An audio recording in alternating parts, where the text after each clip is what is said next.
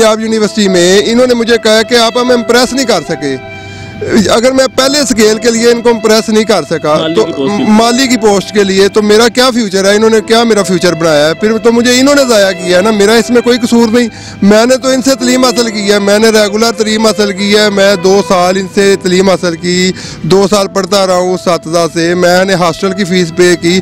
मुझे तो इन्होंने तैयार करना था मैं तो इनकी प्रोडक्ट हूँ। अब अगर मैं पहले स्केल के लिए इनको नहीं इम्प्रेस कर सका तो इनको ज़ाहिर है फिर इनको सोचना चाहिए कि ये जो तलीम है, इन्होंने मुझे नहीं ठीक दी कि मेरे हिसाब से तलीम नहीं हासिल करनी चाहिए। फिर तो कोई फ़ायदा नहीं, ये था कि ये ज़ाया डिग्रियाँ मैं इनको सर में मारूँ या क्या करूँ? ये मेरे लिए ज़ाया बेकार है, कागज़ के डुकरे हैं। अगर पहले स्केल के लिए ये मेरे काम नहीं आ रही तो फिर क्या काम है इनका जी? असल नाजीन मैं हूँ आपका मेज़बान अनस कुंदल। आप देख रहे नया पाकिस्तान। नाजीन मेरे साथ मौजूद है मोहम्मद अफान भट्टी, जिन्होंने आज से तीन साल पहले पंजाब यूनिवर्सिटी से तीन एमए कर रखे हैं। नाजीन पिछले तीन साल से ये नौकरी की तलाश में है, लेकिन अभी तक इनको नौकरी नहीं मिली है। नाजीन लंबा फिक्रिया ये है कि जिस यूनिवर्सिटी से इन्होंने तीन एमए पास किए, पंजाब यूनिवर्सिटी से तीन साल बाद इन्होंने थक हार के पंजाब यूनिवर्सिटी के अंदर ही माली की पोस्ट के लिए अप्लाई किया। नाजिन जब इन्होंने अप्लाई किया, इनको कॉल लेटर आया इंटरव्यू के लिए, इंटरव्यू में गए, लेकिन इंटरव्यू में जाके ये रिजेक्ट हो गए। और इनका ये कहना है कि जिस यूनिवर्सिटी से मैंने तीन एमए मास्टर किए, उसी यूनिवर्सिटी ने मुझे माली की पोस्ट के लिए क्यों रिजेक्ट किया? और इनका ये कहना है कि मैं थक हार के माली की पोस्ट के लिए अप्लाई किया था, क्योंकि घर वाले मुझे तनकीद का निशाना बनाते हैं और साथ ही साथ लोग मुझे तनकीद का निशाना बनाते हैं। नाजिन ये एक पढ़े लिखे नौजवान हैं और इनकी जो तालीम है वो बड़ी अच्छी है और उसी के साथ इनकी जो परसेंटेज है, जो इन्होंने तालीम हासिल की, उसमें इनके जो मार्क्स हैं वो 60 प्लस हैं। और साथ ही साथ इनका ये कहना है कि मैंने प्राइवेट नौकरी के लिए भी अप्लाई किया, लेकिन वहाँ पे भी अच्छी नौकरी के लिए वहाँ पे भी मुझसे पैसे मांगे जाते हैं। वहाँ पे भी ये कहा जाता है कि आपका रेफरेंस क्या है? आप किसके रेफरेंस से आए हैं? तो नाज़रीन, उसी के साथ पिछले तीन साल से ये हर जगह पे जाके अप्लाई कर चुके हैं, लेकिन अभी तक नौकरी नहीं मिली। और लम्हा फिक्रिया ये है पंजाब यूनिवर्सिटी के अंदर माली की पोस्ट के लिए अप्लाई किया और वहाँ पर भी रिजेक्ट हो गए। अभी तक ये बहुत मायूस हो चुके हैं उनका ये कहना है कि ये मैं डिग्रियाँ कहाँ लेकर जाऊँ? किसके पास इस्तदा लेकर जाऊँ कि मुझे नौकरी दी जाए? जो घर वालों ने मेरे ऊपर इन्वेस्ट किया उसके लिए मैं क्या जवाब दूँ घर वालों को? इनसे ये जानते हैं कि इन्होंने माली की पोस्ट के लिए अप्लाई क्यों किया? उसी यूनिवर्सिटी के अंदर जहाँ से इन्होंने तीन मास्टर कर रखे हैं। नाजिन इनसे गुफ्तगू का आगाज़ करते हैं। जी वालेकुम। सलाम सर। ये बताएँ कि आपने माली की पोस्ट के लिए क्यों अप्लाई किया? सर एक्चुअली हिस्ट्री इसकी ये है कि मैंने इससे पहले काफ़ी जगह पे अप्लाई किया है। पीपीएससी में भी मैंने क्लियर किया, मैंने इंटरव्यू दिया, लेकिन मैं उसमें नाकामयाब हो सका। इसके अलावा जीसी यूनिवर्सिटी में मैंने किया स्पोर्ट्स में, उधर मेरा नहीं हुआ। अच्छा नाथिन काबिल और बात यह है कि इन्होंने ये कहा कि पीपीएससी के लिए इन्होंने अप्लाई किया और वहाँ पे इन्होंने टेस्ट पास किया इंटरव्यू में जाके रह गए। तो आप इससे आगे ये क्या कर सकते हैं? ये सवालिया निशान है। पीपीएससी के इम्तिहान पास करना कोई आसान बात तो नहीं है ना? जी सर, मैंने पीपीएससी में लेक्चरार का पेपर पास किया था, जो 17 स्केल का है। मुझे अफसोस इधर ये हुआ है, पंजाब यूनिवर्सिटी में। इन्होंने मुझे कहा कि आप हम इम्प्रेस नहीं कर सके। अगर मैं पहले स्केल के लिए इनको इम्प्रेस नहीं कर सका माली तो की। माली की पोस्ट के लिए तो मेरा क्या फ्यूचर है? इन्होंने क्या मेरा फ्यूचर बनाया है? फिर तो मुझे इन्होंने ज़ाया किया है ना? मेरा इसमें कोई कसूर नहीं। मैंने तो इनसे तलीम हासिल की है। मैंने रेगुलर तलीम हासिल की है। मैं दो साल इनसे तलीम हासिल की। दो साल पढ़ता रहा हूँ सातदा से। मैंने हॉस्टल की फ़ीस पे की। मुझे तो इन्होंने तैयार करना था। मैं तो इनकी प्रोडक्ट हूँ। अब अगर मैं पहले स्केल के लिए इनको नहीं इम्प्रेस कर सका तो इनको ज़ाहिर है फिर इनको सोचना चाहिए कि ये जो तलीम है, इन्होंने मुझे नहीं ठीक दी। दूसरी बात ये है कि अगर, दूसरी बात इन्होंने मुझे की कि हमने जो कमेटी है, उसको आप इम्प्रेस नहीं कर सके। ज़ाहिर सी बात है जी, अगर मैं एम एस सी करके इनको इम्प्रेस नहीं कर सका और एक बंदा है जो अंडर मैट्रिक है मिडल पास है वो इनको इम्प्रेस कर सका है तो ये भी एक लंबा फ़िक्र है। हाँ, ये सवाल निशान है कि आपने एमएससी कर रखी है और एक इंसान जिसने मिडिल आठवीं क्लास पढ़ रखी है वो उसके लिए एल है आप उसके लिए ना एल हैं? जी बिल्कुल इन्होंने कहा कि आप हमें इम्प्रेस ही नहीं कर सके। कमेटी की इधर पसंद और नापसंद है। अगर ये पसंद और नापसंद की बात थी तो फिर ये ऐड क्यों देते हैं? ऐड देते हैं तो हम जैसे नौजवानों में एक उम्मीद पैदा हो जाती है चलो यार कोई हमें भी जॉब देगा।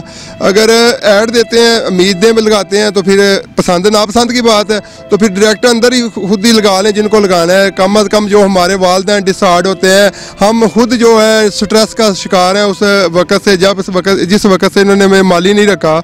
इस स्ट्रेस किस लिए कि मुझे इन्होंने कहा कि आप हमें पहले स्केल के लिए नहीं कर सके मुतमिन। तो मैं तो ये जो डिग्रियाँ ले के बैठा हुआ हूँ ये सोलह साल की ये तलीम है मेरी ये मेरी मेहनत है।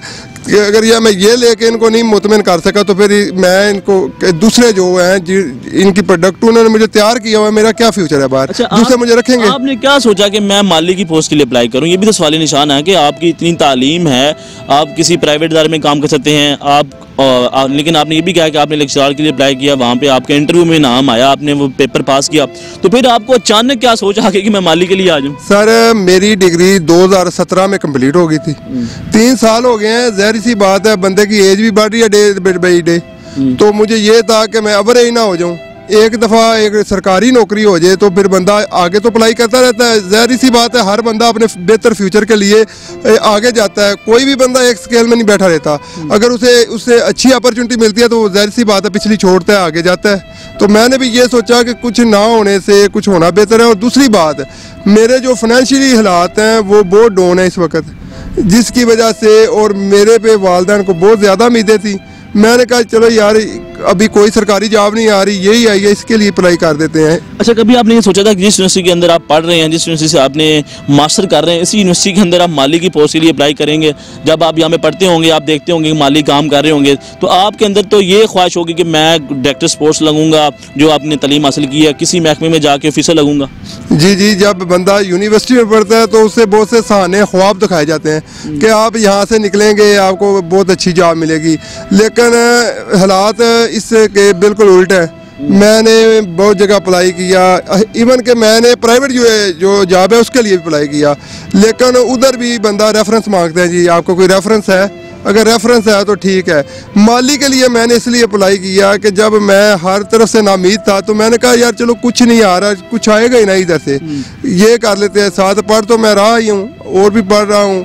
इसलिए मैंने कहा, चले, साथ, कुछ मेरी भी, ये, वो जेब खर्च निकल आएगी। घर वालों की भी कुछ थोड़ी बहुत सपोर्ट हो जाएगी, इसलिए मैंने माली के लिए अप्लाई किया। अच्छा आपने ये बताया कि आपने प्राइवेट जॉब्स के लिए अप्लाई किया, जो अच्छी जॉब्स हैं।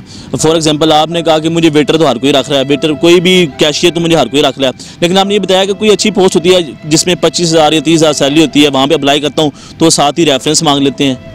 जी बिल्कुल इसी तरह है। अगर आप लाहौर के किसी भी स्कूल में प्राइवेट स्कूल चले जाइए जो अच्छे स्कूल हैं बीकन हाउस हो गया सिटी स्कूल हो गया इसमें आपको रेफरेंस के बगैर जॉब नहीं मिलती। वो सबसे पहले आपको रेफरेंस पूछते हैं कि आपका रेफरेंस क्या है? आपके रेफ, किस रेफरेंस से आए हैं? अगर आपका रेफरेंस नहीं तो वो आपकी सीवी फेंक इस तरह साइड पे फेंक देते हैं अच्छा मायूस हुए जब आपको मालिक के लिए रिजेक्ट किया गया? सारा मायूसी दूर की बात है। मैं तो स्ट्रेस में चला गया कि मैं इनको, अगर मुझे मेरी यूनिवर्सिटी पहले स्केल की नौकरी नहीं दे रही तो मैं बाकी जो इदारे हैं पाकिस्तान के, उनसे क्या उम्मीद रखूँ कि वो मुझे सिक्सटीन या सेवनटीन में देंगे?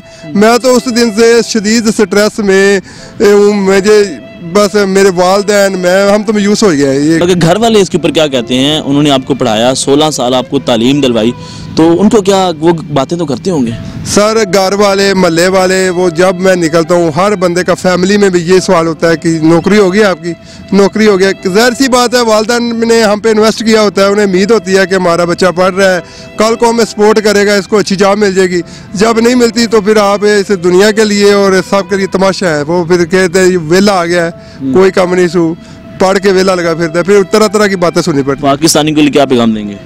पाकिस्तानियों के लिए यही पैगाम है कि तलीम, मैं तो फिर मेरे नज़दीक तो जो मेरा हिसाब है कि मेरे हिसाब से तलीम नहीं हासिल करनी चाहिए।